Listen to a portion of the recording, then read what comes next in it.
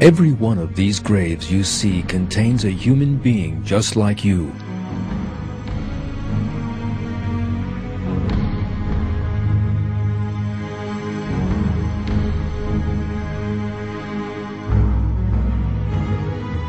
They once used to watch television, just as you are now.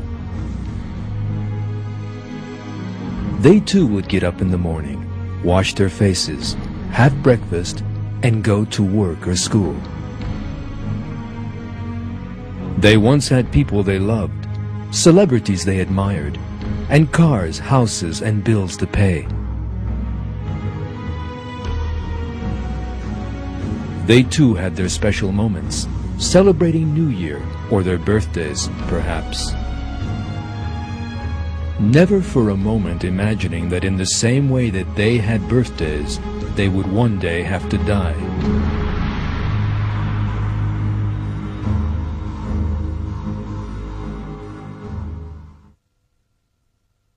Every self will taste death. Then you will be returned to us.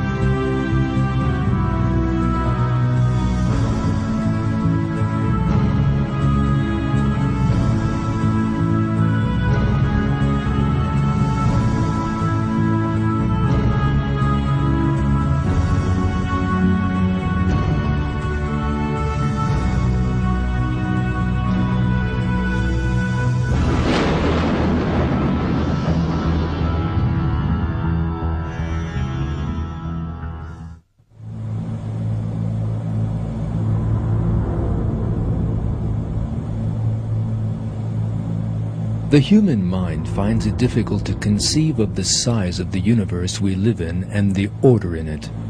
It is estimated that the universe contains some 300 billion galaxies. Our Milky Way is just one of these. There are some 250 billion stars in the Milky Way.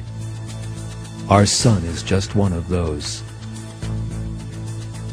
In other words, there are more stars in the universe than there are grains of sand in all the beaches of the world. And our sun is just one of those grains of sand.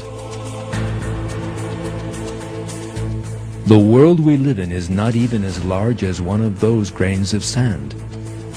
As for man, a tiny creature living on this earth, he is as nothing in the magnificence of this giant universe.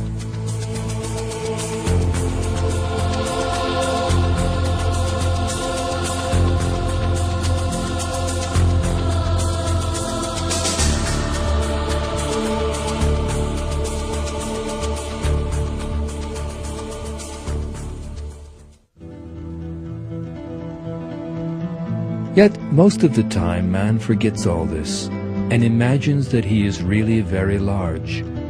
He lives in pride and arrogance.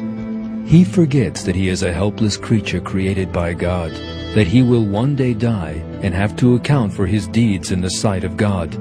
Furthermore, he becomes passionately attached to this world, which is smaller than a grain of sand in the grand scale of the universe.